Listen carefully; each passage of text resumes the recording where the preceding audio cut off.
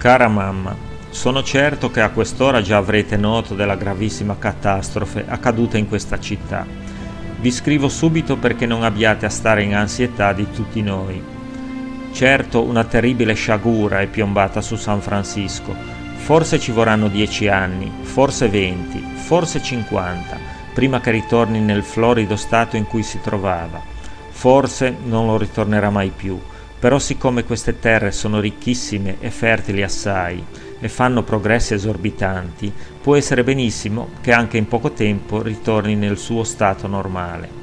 Mentre tante migliaia di persone che due giorni fa erano felici e godevano ogni ben di Dio, ora si trovano nella più squalida miseria, senza casa, privi degli oggetti più necessari, molti piangendo la perdita di qualcuno dei loro più cari. Ma bene, qui incomincerò a darvi qualche particolare.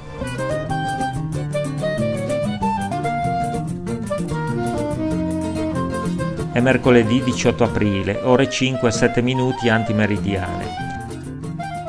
Sono per levarmi di letto quando una terribile scossa di terremoto scuote la città in modo spaventoso, facendo sbattere le case come fa il vento agli alberi tanto da far credere che della città non dovesse restare che un mucchio di rottami. Questa terribile scossa avrà avuto la durata di due minuti, almeno immagino, sebbene in quel momento mi sembrasse un'eternità. Io non pensai nemmeno a uscire di casa, siccome questa è costruita in legno, ero sicuro che non mi accadesse niente di male. Lo stesso mia cugina Chiara e d'altronde, anche avendolo tentato, difficilmente avremmo potuto scendere le scale senza rompersi qualche gamba.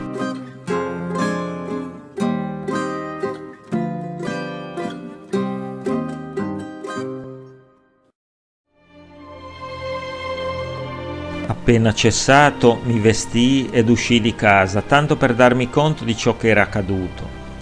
Tutte le strade sono piene di gente che gridano, che piangono con visi ove sopra vi si vede dipinto il terrore e lo spavento.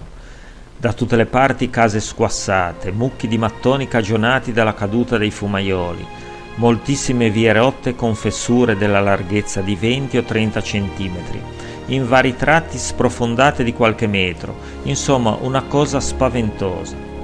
In questo frattempo si vede un gran fumo alzarsi dal lato est della città, nel centro, ove sono gli edifici più pomposi.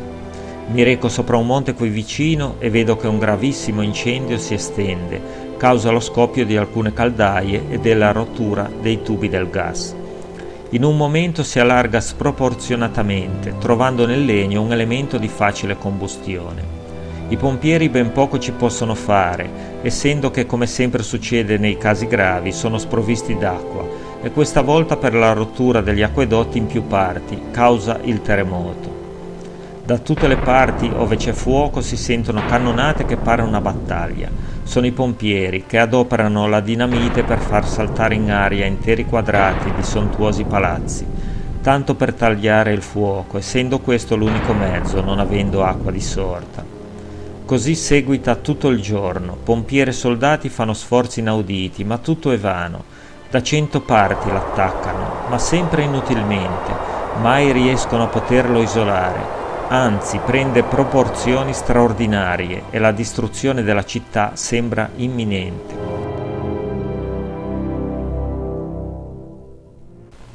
È notte, tre quadre di spaventose fiamme si estendono verso ovest, altrettante al nord, ad aggravare la situazione e a farla veramente terrorizzante, ad intervalli si succedono le scosse di terremoto benché di poca importanza.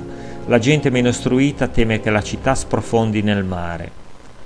Tutta la gente è accampata per le piazze e per le strade, nessuno osa rientrare in casa, tutti temono che la catastrofe sia completa.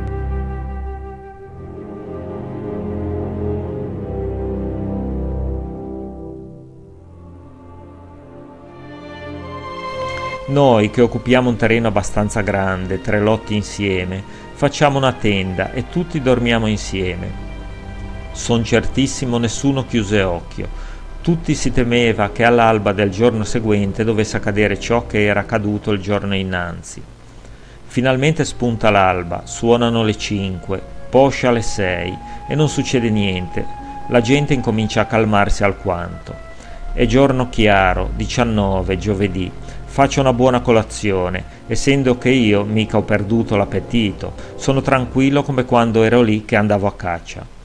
Ciò fatto salgo nuovamente sul monte per darmi conto dell'incendio Ritorno a casa e c'è un vicino di noi che mi prega di voler attaccare i cavalli per andare a prenderci un carro di mobilia, proprio nel centro della città, ove fra poco il fuoco avrebbe distrutto tutto.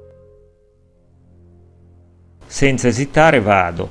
Mi tocca fare mille giri, essendo in più parti sprofondata la strada, con grandissime fessure, pali del telegrafo rotti nel mezzo, come fossero stuzzicadenti case distrutte, chiese, rottami, piazze piene di feriti e morti, questi ultimi coperti con qualche straccio, una cosa da inorridire. Finalmente giungo, siamo distanti tre quadre dal fuoco, ma già si sente un caldo insopportabile. Si carica la roba più presto che si può e via di corsa.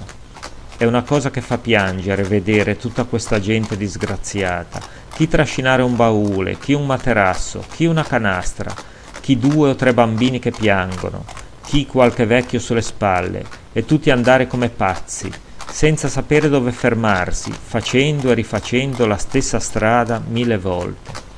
Cosa più spaventosa credo non ne sarà mai accaduta.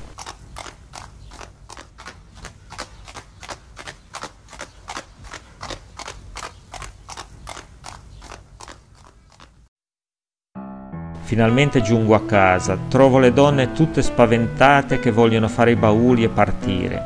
Avendo io ritardato alquanto nel ritornare, causa le strade rotte e tutte ingombre di gente, e sapendomi alquanto di sangue freddo, temevano avessi voluto arrischiarmi alquanto vicino al fuoco e mi fosse successa qualche disgrazia, e così spavento sopra spavento. Prova a dissuaderle a non fare i bauli, però vedo che è inutile, della mia roba non preparo nemmeno un paio di pantaloni, tanto son certo che il fuoco qui non debba giungere, e anche ciò accadesse non sarebbe prima di due o tre giorni, essendo ancora il fuoco distante qualche quattro chilometri da noi. Si sente qualche scossa di terremoto, però di poca importanza. Così passa la notte. Venerdì 20. Dal lato sud non si vede più fiamme, certamente hanno finito la loro opera di distruzione dal lato nord continua ancora, però si crede riusciranno a dominarlo. È mezzogiorno, tuttora si sentono i colpi di dinamite che fanno saltare le case, però sono sicuro prima di domani riusciranno a dominarlo.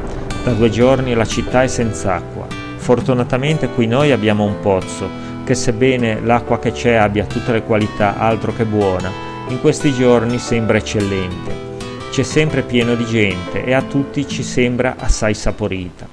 In conclusione, due terzi della città è distrutta. In questi vi sono compresi gli edifici più belli. 350.000 persone sono prive di tetto e senza viveri di sorta. I danni sono calcolati a prima vista a 200 milioni di scudi, però credo saranno assai più elevati e finora continua il fuoco. Insomma, si potrebbe dire che la distruzione di San Francisco è completa. Il congresso ha versato un milione di scudi per sfamare tutti questi disgraziati. Noi tutti bene, saluti a tutti e i più affettuosi da vostro figlio Giuseppino.